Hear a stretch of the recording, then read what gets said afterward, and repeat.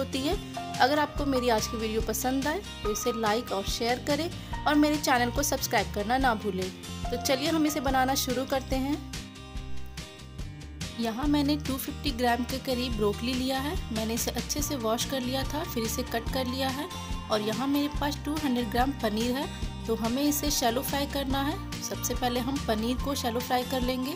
इसके लिए मैंने यहाँ पैन में दो से तीन टेबलस्पून ऑयल डाला है। ऑयल बिल्कुल गर्म है। तो हम इसमें बहुत ही केयरफुली एक एक करके पनीर इसमें डाल देंगे।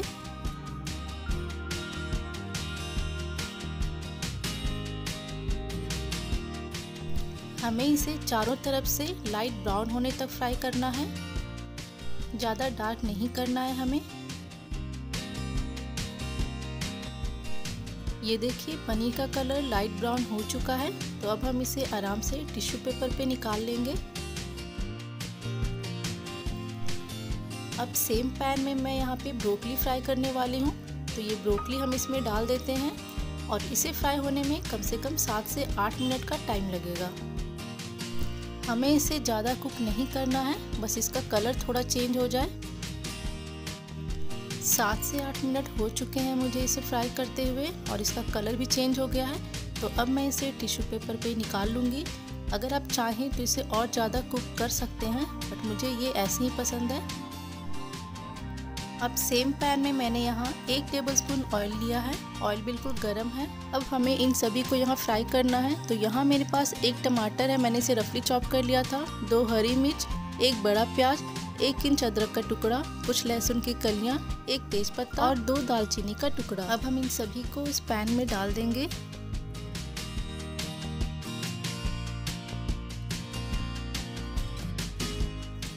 और हमें इसे धीमी आँच पे तीन से चार मिनट के लिए फ्राई कर लेना है। तीन से चार मिनट हो चुके हैं और अब ये मिक्सचर बिल्कुल रेडी है तो मैं इसे मिक्सी के इस जार में डाल रही हूँ और ध्यान रखें, हमें इसे अभी बिल्कुल नहीं पीसना है। जब ये अच्छी तरह से ठंडा हो जाएगा, तभी हम इसे पीसेंगे। अब हमें ग्रेवी की तैयारी करनी है तो इसके लिए मैंने पैन में एक टेबलस्पून ऑयल डाला है। ऑयल बिल्कुल गर्म हो चुका है। तो सबसे पहले मैं इसमें एक टेबलस्पून जीरा डाल रही हूँ। जीरा को हम अच्छे से क्रैकल होने देंगे।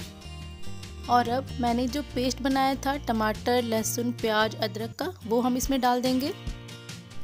इस पेस्ट को पीसने टाइम मैंने लगभग एक स्पून पानी ऐड किया था, क्योंकि मुझे बिल्कुल स्मूथ पेस्ट चाहिए था। इसे हल्का सा हम चला लेते हैं। साथ ही साथ अब मैं सूखे मसाले डालूँगी इसमें। सबसे पहले हल्दी पाउडर एक spoon, Kashmiri red chili powder एक टेबलस्पून धनिया पाउडर एक टेबलस्पून और नमक एक स्पून। नमक की क्वांटिटी आप अपने हिसाब से कम ज़्यादा कर सकते हैं। साथ ही साथ मैं यहाँ एक स्पून शुगर यानी कि चीनी भी ऐड कर रही हूँ। आप चाहें तो इसे डाल सकते हैं अदरवाइज़ इसे स्किप भी कर सकते हैं। अब इन सारे मसाले को हम अच्छी तरह से मिक्स कर लेंगे।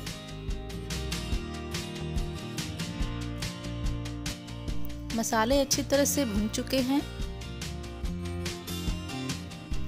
और अब यहाँ मैं दो टेबलस्पून फेटी हुई दही ऐड कर रही हूँ। दही बिल्कुल फ्रेश होना चाहिए, ज़्यादा खट्टा नहीं होना चाहिए।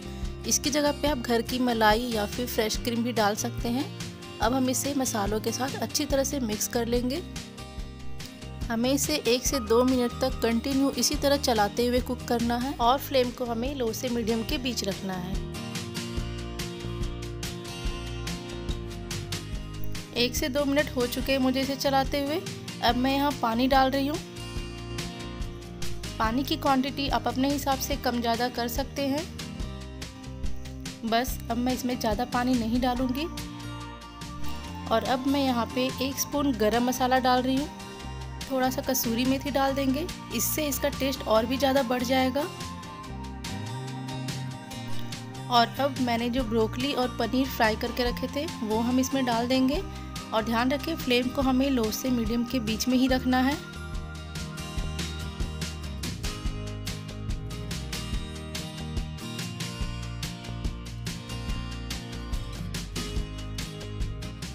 और अब हम ब्रोकली और पनीर को ग्रेवी के साथ मिक्स करते हुए चला लेंगे। अगर आपको लगे कि इसमें पानी थोड़ा कम है तो आप अपने हिसाब से पानी एक्स्ट्रा ऐड कर सकते हैं। बस अब हम इसे पाँच से छः मिनट के लिए ढक के पकाएँगे। पाँच से छः मिनट हो चुके हैं मुझे इसे पकाते हुए। बीच में मैंने इसमें थोड़ा सा पानी भी ऐड किया था और आप देख सकते हैं ग्रेवी से ऑयल बिल्कुल अलग होने लगा है, यानी कि हमारी सब्ज़ी बिल्कुल रेडी है। तो सबसे पहले हम गैस को बंद करेंगे। और इसे एक सर्विंग प्लेट में निकाल लेंगे। आप इसे पूड़ी चपाती, नान या फिर प्लेन राइस के साथ भी सर्व कर सकते हैं। इस रेसिपी को अपने घर पे ज़रूर बनाइए और अपने कमेंट मेरे साथ ज़रूर शेयर कीजिए। जल्दी मिलते हैं एक नई रेसिपी के साथ। तब तक के लिए बाय बाय